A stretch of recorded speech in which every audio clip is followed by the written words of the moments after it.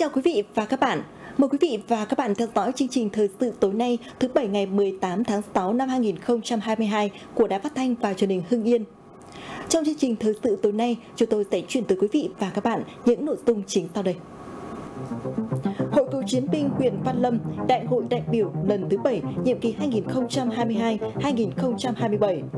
Trường Đại học Chu Văn An tổ chức kỷ niệm 16 năm thành lập. Cảnh báo lừa đảo vay tiền qua mạng tại thành phố Hưng Yên. Tình trạng người lái xe vi phạm nồng độ cồn tham gia giao thông vẫn tăng cao. Các đám hiếu hỉ dựng dạp lấn chiếm lòng lề đường gây mất an toàn giao thông. Và các bạn, Hội cựu chiến binh huyện Văn Lâm vừa tổ chức Đại hội đại biểu lần thứ 7, nhiệm kỳ 2022-2027. Đây là đại hội được Hội cựu chiến binh tỉnh chọn tổ chức điểm rút kinh nghiệm trong toàn tỉnh. Dự đại hội có đồng chí Trần Quốc Toàn, Phó Bí thư Thường trực tỉnh ủy, Chủ tịch Hội đồng Nhân dân tỉnh, đồng chí Quách Thị Hương, Ủy viên Ban Thường vụ tỉnh ủy, Trưởng ban dân vận tỉnh ủy, Chủ tịch Ủy ban Mặt trận Tổ quốc Việt Nam tỉnh. Trong nhiệm kỳ 2017-2022 vừa qua, các cấp hội cựu chiến binh huyện đã làm tốt công tác tham gia xây dựng và bảo vệ Đảng, Nhà nước, chế độ xã hội chủ nghĩa, bảo vệ nhân dân và khối đại đoàn kết toàn dân tộc, động viên cựu chiến binh nêu cao tinh thần tự lực tự cường, giúp nhau làm kinh tế, cải thiện đời sống, giảm nghèo bền vững, phối hợp với các ban ngành tổ chức chính trị xã hội ở địa phương, tổ chức tập huấn, chuyển giao khoa học kỹ thuật cho hàng nghìn lượt hội viên, tín chấp cho trên 1.100 hộ cựu chiến binh vay trên 36 tỷ đồng, phát triển kinh tế tạo việc làm, góp phần nâng cao đời sống. Cùng với đó, các cấp hội còn đẩy mạnh tuyên truyền phổ biến giáo dục pháp luật, tư vấn trợ giúp pháp lý cho hội viên và cựu chiến binh, tham gia giáo dục lòng yêu nước, yêu chủ nghĩa xã hội và chủ nghĩa anh hùng cách mạng cho thế hệ trẻ. Đại hội đã bầu 17 đồng chí vào ban chấp hành hội cựu chiến binh huyện khóa 7, nhiệm kỳ 2022-2027 và bầu đoàn đại biểu đi dự đại hội đại biểu hội cựu chiến binh tỉnh trong thời gian tới là các việc làm tốt trong công tác để Sáng nay, Trường Đại học Chu Văn An tổ chức lễ kỷ niệm 16 năm ngày thành lập trường 2006-2022. Dự buổi lễ có đồng chí Nguyễn Duy Hưng, Phó Chủ tịch Ủy ban Nhân dân tỉnh, đồng chí Phạm Huy Bình, Ủy viên Ban Thường vụ tỉnh ủy, Bí thư Thành ủy Hưng Yên. Trải qua 16 năm hình thành và phát triển, trường đại học Chu Văn An hiện có hai cơ sở tại thành phố Hưng Yên và khu đô thị Eco Bắc huyện Văn Giang. Nhà trường hiện đào tạo 9 ngành trình độ đại học, 2 ngành trình độ thạc sĩ. Trường có trung tâm thực hành nghề luật, các phòng thí nghiệm vật lý, hóa học, sinh học, điện cơ khí, liên kết với các công ty hiệp hội để đảm bảo việc học tập thực hành của sinh viên, giảng viên. Đến nay, trường đã đào tạo được 10.000 cử nhân, 1.000 thạc sĩ, góp phần cung cấp nguồn nhân lực chất lượng cao, đáp ứng yêu cầu phát triển và hội nhập của đất nước. Phát biểu tại lễ kỷ niệm, đồng chí Phó Chủ tịch Ủy ban dân tỉnh Nguyễn Duy Hưng chúc mừng những kết quả trường đại học Chu Văn An đã đạt được trong 16 năm qua. Đồng chí đề nghị thời gian tới, trường tiếp tục đầu tư cơ sở vật chất, phối hợp chặt chẽ, chia sẻ kinh nghiệm quản lý và nghiên cứu với các trường đại học trên cả nước, đồng thời bám sát nhu cầu của thị trường lao động, lựa chọn ngành nghề, phương pháp đào tạo phù hợp để có những đột phá phát triển bền vững. Những năm qua, việc ứng dụng khoa học kỹ thuật vào sản xuất tại các cơ sở sản xuất nghề mộc xã Đại Tập huyện Khói Châu được xem là một trong những phương pháp quan trọng để nâng cao chất lượng và sức cạnh tranh của sản phẩm, tăng năng suất lao động, mang lại hiệu quả kinh tế cao cho người sản xuất. Xã Đại Tập hiện có hơn 200 cơ sở sản xuất đầu mộc. Trước đây, các cơ sở chủ yếu sản xuất thủ công, sử dụng máy móc công nghệ cũ khiến cho hiệu quả lao động thấp, tốn nhiều nhân lực. Thì đến nay, hầu hết các cơ sở sản xuất đều đầu tư các máy móc hiện đại vào các công đoạn sản xuất như xẻ, khoan, cưa đục, tiện, phay, bào, đánh bóng. Bên cạnh đó, nhiều cơ sở còn đầu tư mua các loại máy móc hiện đại như máy CNC đục gỗ vi tính, máy điều khắc mỹ thuật CNC, máy xẻ vi tính với giá trị hàng tỷ đồng. Qua đó đáp ứng yêu cầu sản xuất công nghiệp với mẫu mã phong phú đa dạng, thay thế sức người bằng máy móc, nâng cao năng suất lao động, tiết kiệm chi phí sản xuất, góp phần đưa các sản phẩm không chỉ tiêu thụ trong tỉnh mà còn xuất bán khắp các tỉnh thành trên cả nước. Hàng năm tòa xã xuất bán được hàng chục nghìn sản phẩm các loại như giường, tủ, bàn ghế, đồ thờ. Trong đó có nhiều cơ sở sản xuất thu lãi hàng trăm triệu đồng mỗi năm như cơ sở sản xuất của gia đình ông Phạm Năng Thống, Trần Thành Hưởng, Nguyễn Ngọc Khánh. Với tốc độ đô thị hóa nhanh, kéo theo lượng rác phát sinh mỗi ngày càng lớn, gây sức ép cho các bãi rác.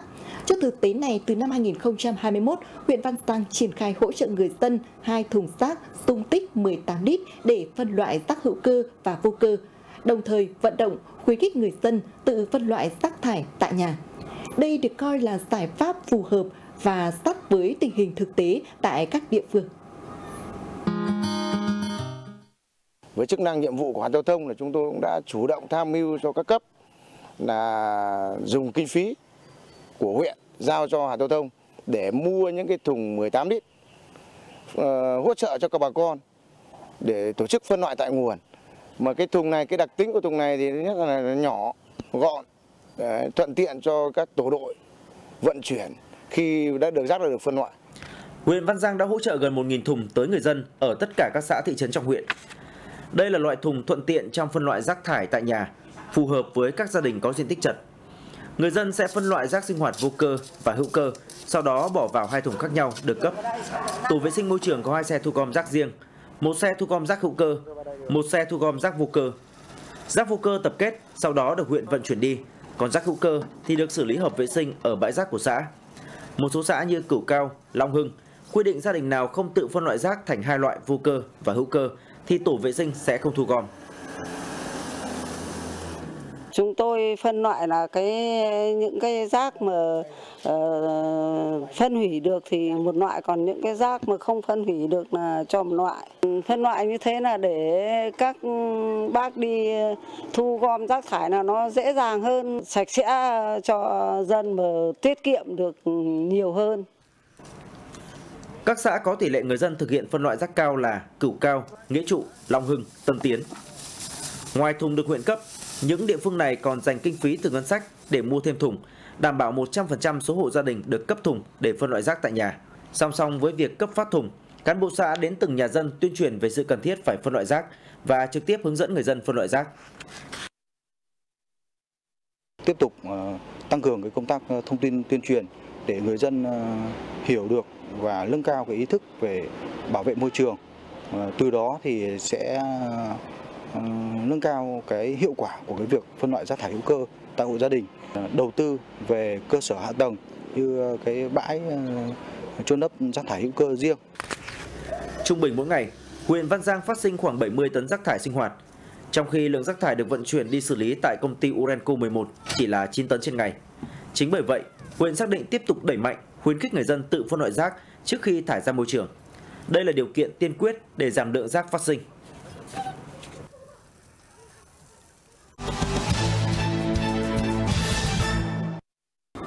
Ngay sau khi kết thúc kỳ thi tuyển sinh lớp 10, các trường trung học phổ thông tiếp tục tổ chức ôn tập kiến thức cho học sinh khối 12, chuẩn bị cho kỳ thi tốt nghiệp trung học phổ thông sắp tới.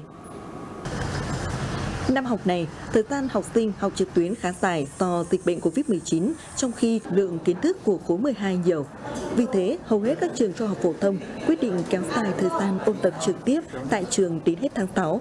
Tận dụng thời gian vàng, các học viên tập trung củng cố kiến thức trong thời gian học online, đồng thời rèn luyện các kỹ năng làm bài thi. Càng gần kỳ thi, việc ôn tập sẽ không thực hiện tàn trải mà tập trung vào các nội dung kiến thức học sinh còn yếu, rèn luyện kỹ năng làm bài, bám sát chương trình tinh giản và bộ đề minh họa của Bộ Giáo dục Đào tạo. Nhiều giáo viên còn tổ chức các lớp ôn thi online miễn phí vào buổi tối, giải đáp những thắc mắc cho học sinh. Bên cạnh đó, các nhà trường cũng tổ chức các bài thi thử để học sinh làm quen với không khí của kỳ thi. Ban chỉ đạo vận động hiến máu tình nguyện huyện Yên Mỹ và huyện Ân Thi vừa phối hợp với Hội chữ thập đỏ tỉnh, Viện Huyết học và Truyền máu Trung ương tổ chức ngày hội hiến máu tình nguyện.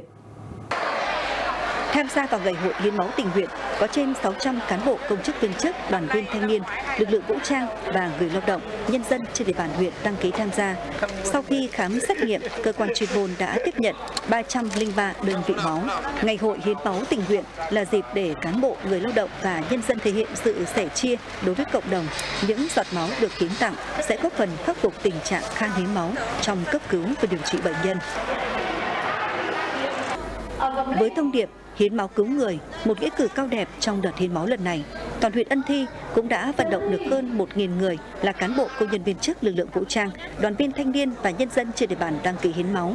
Trong đó có nhiều người đã hiến máu từ 7 lần trở lên như anh Nguyễn Ngọc Oanh, xã Bắc Sơn, Ngô Quốc Toản, giáo viên trường trung học phổ thông Ân Thi, Đặng Thị Hóa, xã Tân Phúc. Kết quả trong ngày đã thu được 960 đơn vị máu. Ngày 16 tháng 6, Liên đoàn Lao động tỉnh đã thăm tặng quà các đoàn viên bị bệnh hiểm nghèo và tai nạn rủi ro trên địa bàn thành phố Hưng Yên. Ban Thường vụ Liên đoàn Lao động tỉnh đã đến thăm tặng quà ba đoàn viên công đoàn mắc bệnh hiểm nghèo có hoàn cảnh đặc biệt khó khăn là anh Nguyễn Văn Tân ở phường Lam Sơn đang công tác tại Cục Thống kê tỉnh, chị Trần Thị Loan, phường Quang Trung, giáo viên trường mầm non 19 tháng 5 và Trần Thị Oanh, giáo viên trường trung cơ sở Trung Nghĩa. Mỗi xuất quà trị giá 5 triệu đồng nhằm chia sẻ động viên các đoàn viên yên tâm điều trị bệnh, nỗ lực khắc phục vượt qua khó khăn, vươn lên trong cuộc sống.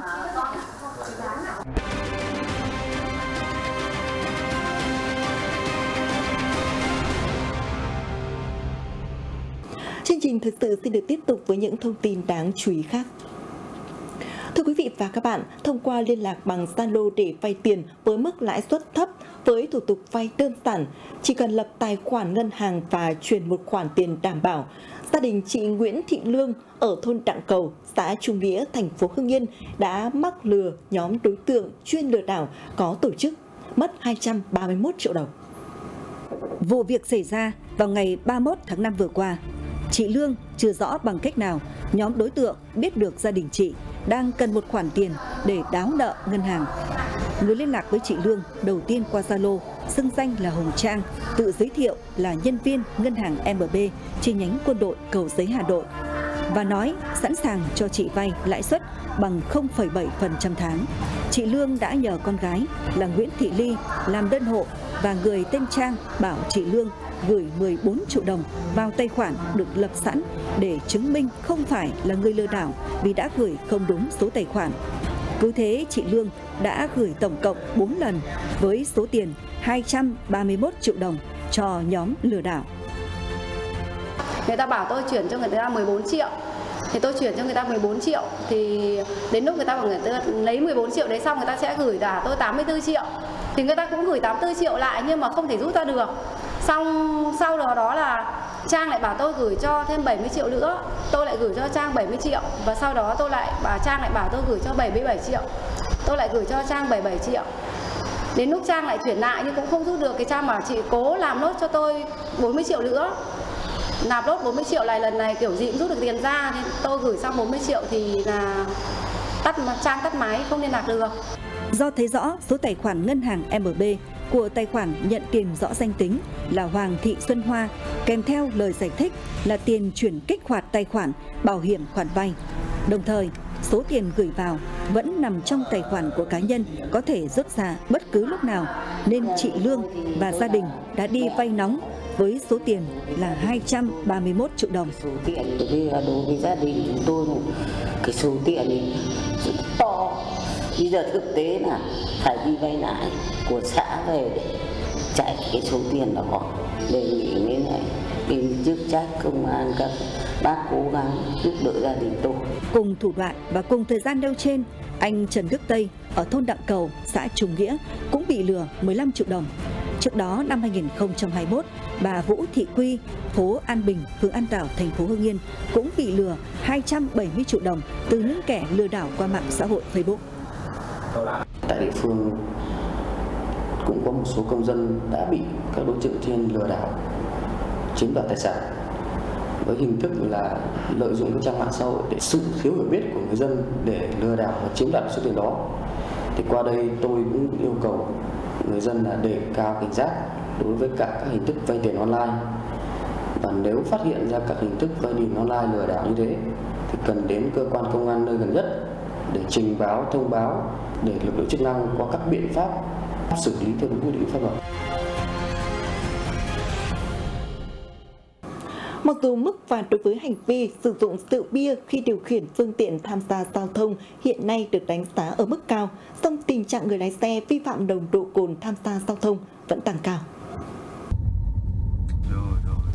Ghi nhận tại thành phố Hưng Yên, thời gian gần đây, cứ vào buổi chiều tối, Tại nhiều cửa hàng quán bia trên địa bàn thành phố Hưng Yên đều trong tình trạng quá tải vì lượng khách đông. Trên đường Nguyễn Đức Cảnh được gọi là phố bia, nơi có nhiều quán bia lớn nhất thành phố Hưng Yên. Cứ từ 17 giờ hàng ngày, nơi đây tấp nập khách ra vào ngồi uống bia hơi. Xe máy để thành hàng dài dưới lòng đường. Không chỉ ở thành phố mà ngay cả các vùng nông thôn, tình trạng người dân uống rượu bia song vẫn tham gia giao thông khá cao. Ờ, hôm nay có mấy ông bạn ông ấy ở, ở xa thế là ông ấy gọi đi ăn sáng thế là tôi cũng làm mấy mấy chén rượu. Tôi đi đến đây thì ờ, gặp ờ, đội ờ, cảnh sát giao thông giữ lại kiểm tra giấy tờ với cả là đo nồng độ cồn. Các đồng chí cũng đã lập biên bản và xử phạt với mức là 3 triệu đồng. Hiện nay là các cái quán không cứ gì ở phố mà nông thôn chiều đến ờ, thanh niên rồi các ờ, đồng chí ngồi uống bia rất là đông. Mà tôi cho những cái việc này là cũng ảnh hưởng đến cái ờ, an toàn giao thông. Cả đám xứ người ta mở lại cũng rượu bia nhiều, cho nên cái đấy tôi cho là cũng nguy hiểm. Theo thống kê từ ngày 15 tháng 4 đến nay lực lượng cảnh sát giao thông công an tỉnh đã phát hiện xử lý trên 200 trường hợp vi phạm nồng độ cồn phạt tiền gần 1 tỷ đồng lực lượng chức năng cho biết trong các lỗi phổ biến gây ra tai nạn giao thông thì vi phạm nồng độ cồn được xếp thứ ba sau vi phạm làn đường phần đường và không đội mũ bảo hiểm. Người điều khiển tham gia giao thông trên đường mà vi phạm nồng độ cồn, tổ công tác thường xuyên tuần tra kiểm soát lưu động dọc tuyến để phát hiện những Ừ, lái xe tham gia giao thông mà vi phạm nồng độ cồn. Qua đó, tổ công tác cũng đã phát hiện xử lý được rất nhiều trường hợp vi phạm nồng độ cồn khi tham giao thông. Theo thống kê từ Ủy ban An toàn Giao thông Quốc gia, 5 tháng đầu năm 2022, cả nước đã xảy ra 118 vụ tai nạn giao thông do rượu bia, làm 85 người thiệt mạng, 77 người bị thương. Chỉ riêng trong tháng 5 đã có tới 3 vụ tai nạn giao thông nghiêm trọng và đặc biệt nghiêm trọng liên quan tới rượu bia. Mới đây, Thủ tướng Chính phủ đã ban hành công điện hỏa tốc về việc chấp hành quy định về phòng chống tác hại của rượu bia. Điều này cho thấy tình trạng xảy ra tai nạn giao thông do sử dụng rượu bia lại đang là vấn đề cấp bách chung của toàn xã hội. Bên cạnh việc tăng cường tuần tra kiểm soát, phát hiện, ngăn ngừa và xử lý nghiêm các trường hợp sử dụng rượu bia, cố tình tham gia giao thông của lực lượng công an và các ngành chức năng. Hơn ai hết, mỗi cá nhân phải có ý thức tự giác chấp hành luật an toàn giao thông. Có như thế mới có thể ngăn chặn hậu quả xấu có thể xảy ra do mất kiểm soát bởi lạm dụng rượu bia. Điều này giúp bảo vệ an toàn cho chính mình và cho cộng đồng và toàn xã hội. Thưa quý vị, Bộ Công an vừa ban hành kế hoạch cao điểm kiểm tra xử lý các vi phạm về trật tự an toàn giao thông.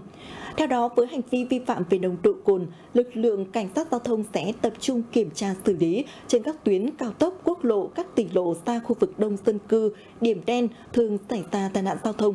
Đối với các trường hợp vi phạm là đảng viên, công chức, viên chức, lực lượng vũ trang sẽ bị gửi thông báo về cơ quan quản lý để có biện pháp xử lý theo quy định. Thưa quý vị, hiện nay tại một số tuyến đường trên địa bàn thành phố Hưng Yên, tình trạng người dân lấn chiếm lòng lề đường để dựng sạp đám hiếu hỉ diễn ra khá nhiều. Dù hành vi này vi phạm hành lang và tiềm ẩn nguy cơ tai nạn giao thông, tuy nhiên vẫn không bị xử lý gây bức xúc cho người dân. Đây là các đám cưới và ăn hỏi trên đường Tô Hiệu, đoạn qua xã Liên Phương và đường Nguyễn Lương Bằng thuộc phường Hiền Nam.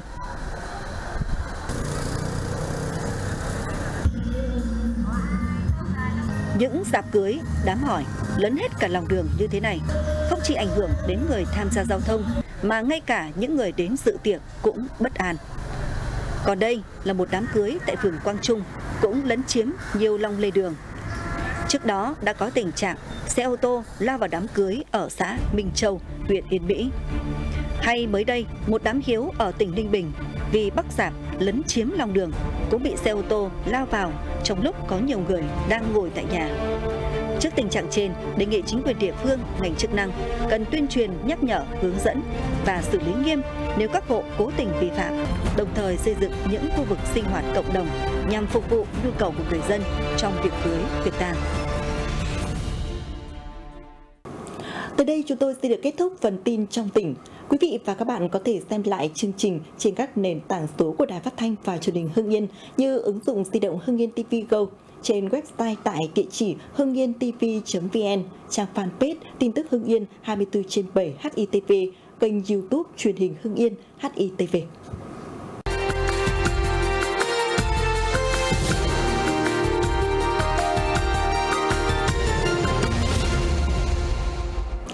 Mời quý vị và các bạn đến với phần tin quốc tế.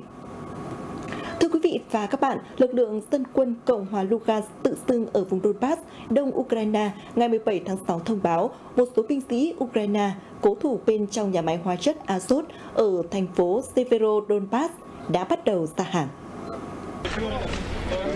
Theo đó, trong chiến dịch quân sự đặc biệt tại khuôn viên của nhà máy Azot ở thành phố Severodonetsk, một số binh sĩ Ukraine đã đưa ra quyết định chính xác và bắt đầu đầu hàng. Số binh sĩ Ukraine đầu hàng và các đơn vị chiến đấu của họ không được tiết lộ về mục đích an ninh. Bộ Quốc phòng Nga ngày 14 tháng 6 kêu gọi các binh sĩ Ukraine bên trong nhà máy hóa chất Azot hạ vũ khí và đầu hàng khi chiến sự ngày càng leo thang ở Severodonetsk. Hầm tránh bom ở nhà máy dầu hóa chất Azot đã trở thành nơi trú ẩn cho hàng trăm dân thường và quân nhân Ukraine. Phía Nga cáo buộc lực lượng Ukraine dùng dân thường bên trong nhà máy Azot như lá chắn sống. Bộ Nông nghiệp Nga cho biết vụ thu hoạch ngũ cốc của nước này có thể đạt tới 130 triệu tấn trong năm nay, đủ để đáp ứng nhu cầu nội địa cũng như đảm bảo tiềm năng xuất khẩu. Tuy nhiên, Nga sẽ chỉ xuất khẩu cho các quốc gia thân thiện. Theo Bộ Nông nghiệp Nga, vụ ngũ cốc được đánh giá là bội thu, trong đó có vụ thu hoạch lúa mì kỷ lục. Bộ trưởng Bộ này nhấn mạnh, Nga phải vượt qua những trở ngại để có thể cung cấp lương thực cho những nước cần nhất. Nông sản của Nga sẽ có mặt tại các thị trường nước ngoài, nhưng chỉ ở các quốc gia thân thiện và không tạo ra rào cản hay khó khăn. Hiện nay thế giới đang trải qua một đợt khủng hoảng ngũ cốc, xung đột Nga, Ukraine cũng như các lệnh trừng phạt của phương Tây nhằm vào Nga đã gây ảnh hưởng lớn tới thị thị trường lương thực toàn cầu vốn đã chịu tác động vì thời tiết cực đoan và đại dịch COVID-19. Hãng thông tấn Trung ương Triều Tiên KCNA đưa tin, giới chức Triều Tiên đang gấp rút thực hiện các biện pháp để đối phó với đợt bùng phát dịch bệnh truyền nhiễm đường ruột cấp. Dịch bệnh bùng phát tại tỉnh Nam Quang Hê với các bệnh nhân mắc bệnh dịch đường ruột cấp tính. KCNA không đều rõ số người mắc bệnh hoặc bệnh chính xác là gì, nhưng nó liên quan tới đường tiêu hóa. Trong khi đó, một quan chức tại Bộ Thống nhất Hàn Quốc phụ trách các vấn đề liên triều cho biết, Seoul đang theo dõi đợt bùng phát bệnh dịch, nghi là dịch tả hoặc thương hàn. Tỉnh Nam Gwanghae là vùng nông nghiệp trọng điểm của Triều Tiên và đợt bùng phát làm gia tăng lo ngại có thể làm trầm trọng thêm tình trạng thiếu lương thực ở quốc gia Đông Nam Á, trong bối cảnh họ đang phải đối phó với làn sóng lây nhiễm COVID-19. Mỹ ngày 17 tháng 6 cho biết đã loại bỏ một số nhân vật thân cận của Tổng thống Venezuela ông Nicolas Maduro ra khỏi danh sách trừng phạt. Bộ Tài chính Mỹ xác nhận đã xóa tên cháu trai của đệ nhất phu nhân Tổng thống Venezuela khỏi một danh sách đen mà ông này bị đưa vào hồi năm 2017 với cáo buộc phá hoại nền dân chủ. Tháng trước, chính quyền Tổng thống Joe Biden cho biết phe đối lập của Venezuela mà Washington coi là chính phủ lâm thời đã yêu cầu một loạt biện pháp mở đường cho đối thoại với Tổng thống Nicolas Maduro. Một biện pháp khác đang được cân nhắc là uy quyền cho tập đoàn dầu khí Mỹ Chevron đàm phán với công ty dầu khí quốc doanh của Venezuela. Ngoại trưởng Mỹ tuần trước cho hay, ông tin các cuộc đàm phán sẽ sớm được nối lại giữa chính phủ và phe đối lập, đồng thời đề nghị dỡ bỏ thêm các biện pháp trừng phạt nếu ông Maduro thỏa hiệp.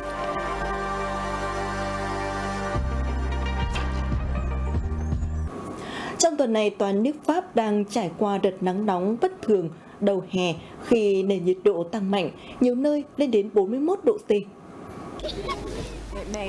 Theo cơ quan khí tượng Pháp, 2 phần 3 tỉnh thành của Pháp ngày 17 tháng 6 đã được đặt trong tình trạng báo động cam và đỏ, đi kèm các cảnh báo về nguy cơ cháy rừng.